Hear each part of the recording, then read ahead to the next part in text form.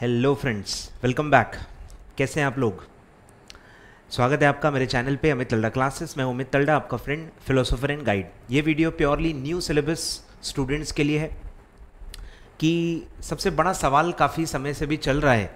जब से अनाउंसमेंट आया था कि तीन सब्जेक्ट्स न्यू सिलेबस में एमसीक्यू हो जाएँगे ओएमआर बेस्ड हो जाएँगे तो जो नोटिफिकेशन आया था या जो मीटिंग आई सेंट्रल काउंसिल की हुई थी, जो मिनट्स थे उसमें, कहीं भी नेगेटिव मार्किंग के बारे में मेंशन नहीं था।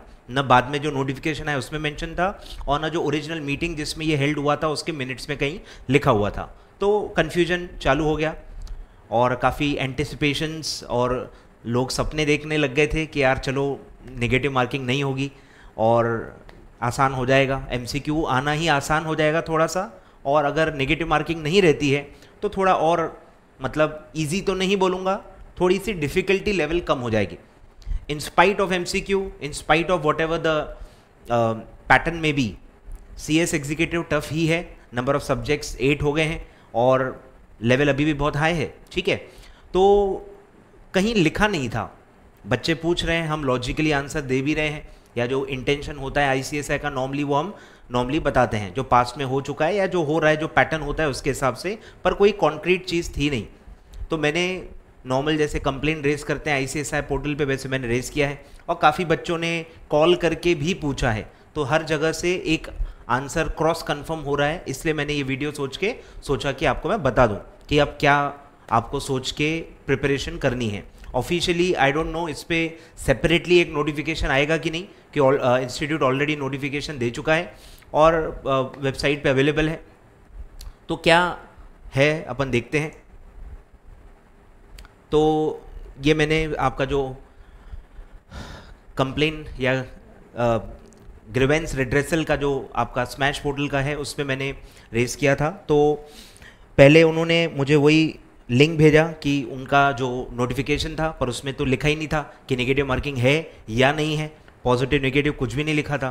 और फिर मैंने क्वेरी रीओपन किया और फिर उन्होंने क्लियर जवाब दिया है नो नेगेटिव मार्किंग ठीक है तो खुश होने का एक रीज़न है आपके लिए, जो न्यू सिलेबस दे रहे हैं कि नो नेगेटिव मार्किंग तीन सब्जेक्ट्स एम सी क्यू हैं टैक्सेशन आपका कॉरपोरेट अकाउंटिंग और एक है एस एफ़ एम ठीक है स्ट्रैटेजिक एंड फाइनेंशियल मैनेजमेंट ये तीन सब्जेक्ट आपके एम सी क्यू हैं और विदाउट एनी नेगेटिव मार्किंग तो ये बहुत अच्छा मेरे ख्याल से पैटर्न हो जाएगा और थोड़ा पास होना, थोड़ा पहले से तो आसान हो जाना चाहिए बिकॉज़ नेगेटिव मार्किंग नहीं है और एमसीक्यू है। यानी जो प्रैक्टिकल सब्जेक्ट्स हैं, जो कभी कंप्लीट ही नहीं होते एसएफएम में भी काफ़ी प्रैक्टिकल कंटेंट है कॉर्पोरेट अकाउंटिंग और कॉस्टिंग जो उसके अंदर है, वो भी काफ़ी प्रैक्टिकल है। तो प्रैक्टिकल का टेंशन यही होता है कि पूरे पूरे वर्किंग्स बनाने पड़ते हैं टाइम नहीं होता है, बराबर? तो वो आपको अब उसका इतना टेंशन नहीं है।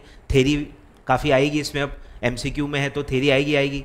और प्रैक्टिकल भी थोड़े से लिमिटेड आएँगे और लिमिटेड लेवल के होंगे। और आपको लिखना नहीं है। आपकी स्पीड का यहाँ इतना अब रेलेवेंस नहीं है। रिटर्न पेपर में स्पीड का रेलेवेंस बहुत ज़्यादा होता है। हैंड राइटिंग प्रेजेंटेशन हर चीज़ का रेलेवेंस होता है। जैसे कि आप ओल्ड सिलेबस में देख ही रहे हो।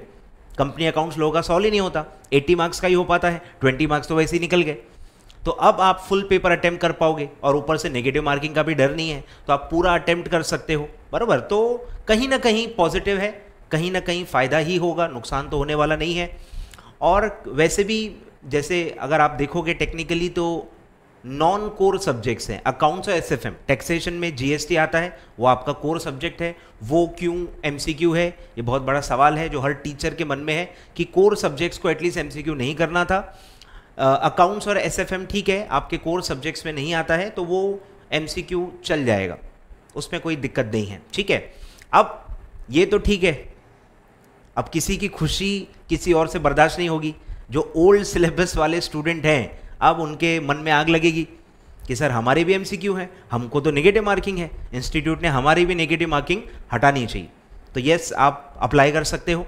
क्योंकि डिस्पैरिटी हो गया। एक ही लेवल के पेपर्स हैं और एक में नेगेटिव मार्किंग है एक में नहीं है। तो ये डेफिनेटली डिस्पैरिटी है और आपको आप लिख सकते हो इंस्टीट्यूट को। लिखने में कोई प्रॉब्लम नहीं है। मानेंगे कि नहीं वो अलग बात है। ठीक है? तो आप लिखो जो भी बोर्ड ऑफ़ डिसिप्लिन है या जो भी रिस्पेक्टिव अथॉरिटी होगी या बोर्ड ऑफ़ जो ये होता है क्या बोलते हैं? बोर्ड ऑफ़ स्टडीज़ उसको आप आ, लिख सकते हो। और उनको रिक्वेस्ट कर सकते हो कि क्योंकि न्यू सिलेबस में नेगेटिव मार्किंग नहीं है तो ओल्ड में क्यों है? उसका क्या लॉजिक है? क्यों उसको आप रिमूव नहीं करते? ऐसा मत लिखना कि सर न्यू में भी लाओ। समझ में आ रहा है? किसी का आप काम बिगाड़ना नहीं। किसी का काम बन रहा है तो उसको बिगाड़ो मत। आप बस रिक्वेस्ट करो कि न्यू में नहीं है तो ओल्ड से भी आप हटा दो तो बेटर रहेगा। और हमको प्रिपरेशन के लिए अच्छा मिलेगा नेगेटिव मार्किंग से क्या प्रॉब्लम होती है, ये सब आप उसमें लिख सकते हो। आपके जो प्रॉब्लम्स हैं, वो आप उसमें लिख सकते हो, ठीक है? मुझसे मत पूछना क्या लिखना है। मैं सिर्फ़ गाइड कर रहा हूँ, मैं किसी को लिख के नहीं देता, ना कुछ बताता हूँ ज़्यादा, ठीक है? आप पर्सनली लिखो, आपको जो भी इश्यूज़ हैं, आपको क्यों लगता है कि नेगेटिव मार्किंग हटनी चाहिए, वो आप अपने फीलिंग्स अपने जो भी पॉइंट ऑफ़ व्यू है, वो आप उसमें लिख सकते हो और अप्लाई कर सकते हो और वेट एंड वॉच वाली सिचुएशन होगी। रिज़ल्ट तक माइट भी इंस्टीट्यूट कुछ डिक्लेयर करे, बरोबर? क्योंकि सॉफ्टवेयर से चेकिंग होती है या सिस्टम से चेकिंग होती है तो उसके लॉजिक्स भी चेंज करने पड़ते हैं। अभी नेगेटिव मार्किंग है तो ऑटोमेटिक चेक होता है तो उसमें काफ़ी इंस्टीट्यूट के तरफ़ से भी कमिटमेंट्स होती हैं, ठीक है? तो इंस्टीट्यूट देखते हैं क्या होता है। वैसे भी दिसंबर ओल्ड सिलेबस का लास्ट अटैम्प्ट है तो थोड़े चांसेस कम ही हैं। थोड़े चांसेस कम ही हैं, ठीक है? पर आप अपनी मन की तसल्ली के लिए लिख लेना और पढ़ाई पर लग जाना, ठीक है? तो ये अपडेट था न्यू सिलेबस स्टूडेंट्स के लिए, जो दिसंबर 2019 का अटैम्प या ऑनवर्ड्स कोई भी अटैम्प दे रहे होंगे तो आपको तीन सब्जेक्ट एमसीक्यूज हैं और उसमें कोई भी नेगेटिव मार्किंग नहीं है। ठीक है? तो ये थैंक यू बोलने का समय है आईसीएसआई को और definitely you should be grateful to institute कि उन्होंने ऐसा किया है और आपको काफ़ी इससे कन्वीनियंस होगा, वो आपको समझ में आएगा। जैसे जैसे आप पढ़ाई करोगे, जैसे जैसे आपके एग्ज़ाम सामने आएगी तो आपको समझ में आएगा कि M C Q with no negative marking से कितना रिलीफ मिलता है। ठीक है? Thank you so much for watching the watching the video पसंद आया हो तो लाइक करें शेयर करें और चैनल को सब्सक्राइब करें।